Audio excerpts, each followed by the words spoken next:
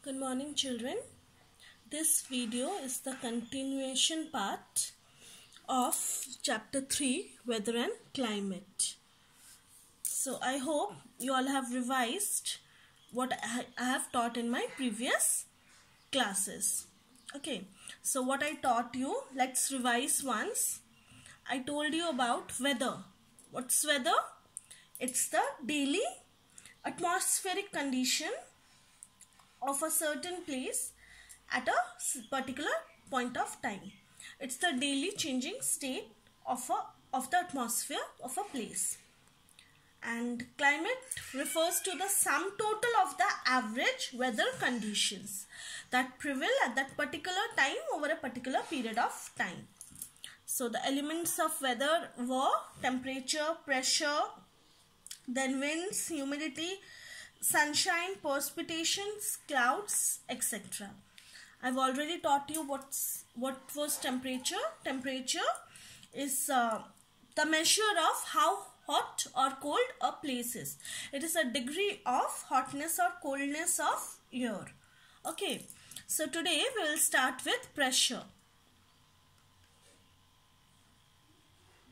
Atmospheric pressure.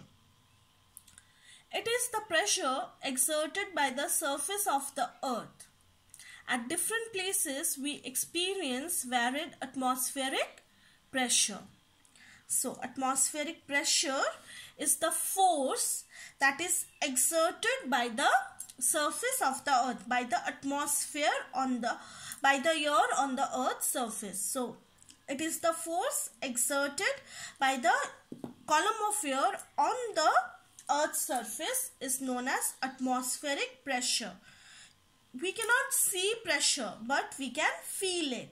Like air has weight. Can we see that? No. But we feel it. Same way while we are walking or driving against the wind we can feel the pressure. Okay. So it depends on various factors. Altitude temperature moisture content and rotation of earth. So altitude as we reach higher altitude the pressure falls and the air as the air becomes thinner. Okay. So as we move up the pressure drops and the air as the air becomes thinner. Temperature like um, if temperature becomes higher then what happens you know the air expands and the molecules of the air becomes less dense and thus exert less pressure. Okay um, then moisture content we know wet air exerts less pressure than dry air and rotation of earth it deflects wind and uh, either causes them to form a higher pressure zone or lower pressure zone. Okay. So there is variation in the air pressure due to uneven heating of the atmosphere and thus land and sea breeze are caused because of pressure difference between land and sea. So what is land and sea breeze?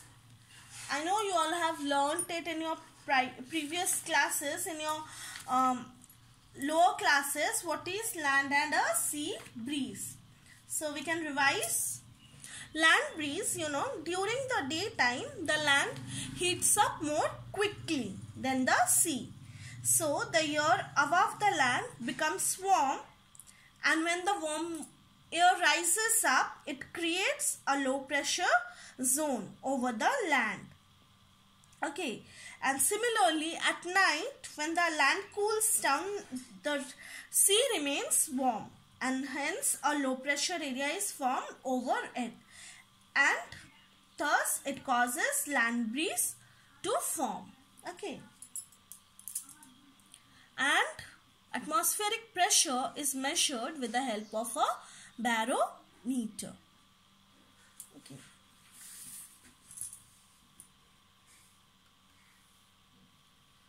now winds winds are caused by the horizontal movement of air because of the uneven heating of earth.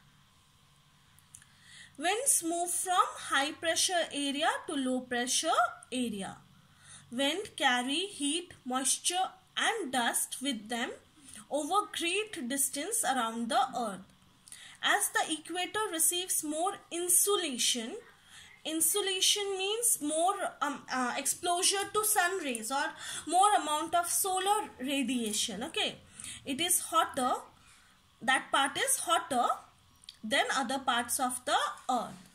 Polar region receives slanting insolation and hence is colder region. So the wind blowing out from polar regions are cold and the wind the direction of wind is measured with wind vane and speed is measured with anemometer and deflection of wind is controlled Deflection of wind is controlled by Coriolis force due to the rotation of the earth. It means that it tends to deflect the moving objects to the right of its path in the northern hemisphere and to the left of its path in the southern hemisphere which leads to the formation of cyclonic weather system. So as the earth rotates in a clockwise as the earth rotates in a clockwise clockwise direction on its axis, anything flying over a long distance over its surface is deflected. Humidity. Humidity is the amount of moisture content in the air. The actual amount of water vapor is called absolute humidity which is measured in grams per cubic meter and relative humidity is the ratio between the actual amount of water vapor and the total amount of air that can hold at a given temperature and is expressed in percentage. Warm air holds more moisture than cold air. Humidity is measured by a wet and dry bulb thermometer. So the moisture in the air, how it is developed? It is developed due to the evaporations of waters from seas, rivers and lakes. Warm air holds more moisture than cold air. That is why humidity is higher in the lower latitudes. And uh, when the air is warmer, where the air is warmer than in the higher latitudes. So, what is actual and relative humidity? Absolute, actual or absolute humidity is the actual amount of water vapor present. And relative humidity is the ratio of the actual amount of water vapor present in the given volume of air at a given temperature to the maximum amount of water vapor at that at the same given below can hold at that percentage. Like for example if a given volume of uh, air is holding say 25 grams of water vapor at a given temperature. But suppose its actual capacity is 50 grams. So relative humidity will be uh, 25 that is um, what it is holding. I told uh, suppose it is holding 25 so 25 by actual that is 50 into 100 okay that will be in percentage. So it will be 50 percentage. Okay and I told you warm air holds more moisture than cold air that is why uh, this humidity is higher in the lower latitudes okay and it is measured by a wet and dry bulb thermometer Precipitation is defined as water in liquid or solid form falling to the earth. Okay. It may be in a form of, it includes rain, sleet, hail or snow. It occurs due to condensation of water and then, and then join to form clouds. And when clouds become too heavy, they cannot remain, remain suspended and thus come down as rain.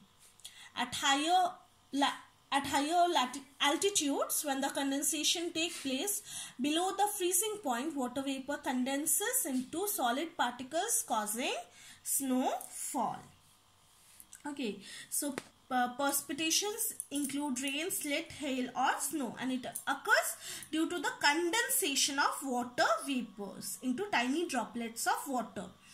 So these tiny droplets of water join to form a larger particles uh, which form clouds and when these clouds become heavy they cannot remain suspended and come down as rain.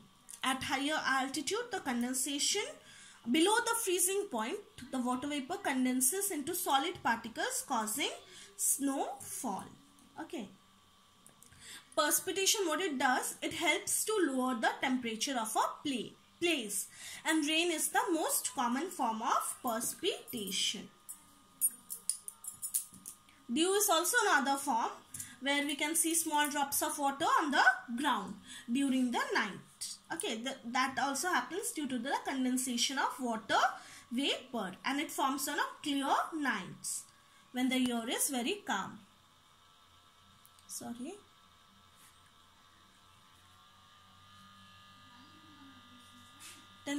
Sunshine is determined by season latitude of a place and amount of cloud cover in the sun sky.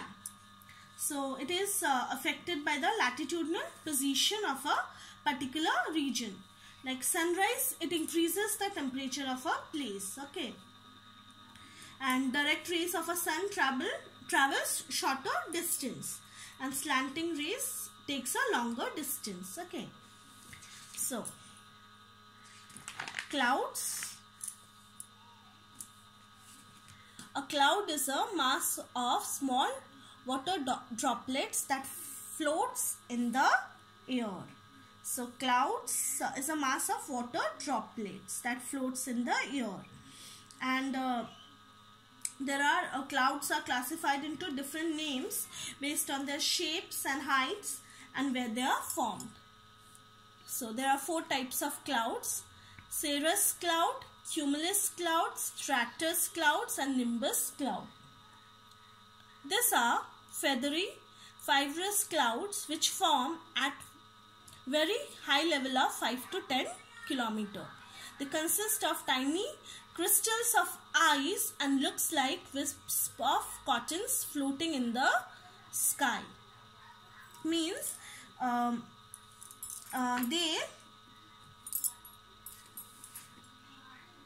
means uh, uh, they are like ringlet. Okay. Uh, they are like ringlet or curling lock of hair they are formed from the outflow of the tropical cyclones. Cumulus these are cauliflower shaped clouds that have great vertical height and a flat base they cause rainfall with lightning and thunder and are usually grey or white in color. So they are flat base and are fluffy and looks like cotton. They looks like cotton, cotton like. Okay. Cirrus. These are sheet-like clouds that spread out over the whole sky. They usually form at low levels less than 2 kilometer. They uniformly grey and dull. Yes, they are the low level clouds and they are very flat, hazy, featureless. They are uniformly grey and dull. And nimbus, these are the real rain clouds, thick, dark and black and spread out in layers. They are thick, dark, black that spread out in layers. They cause continuous rain or snow. I hope children till this much you have understood please go through the chapter till this much and in my next video I will upload about the weather instruments. Thank you.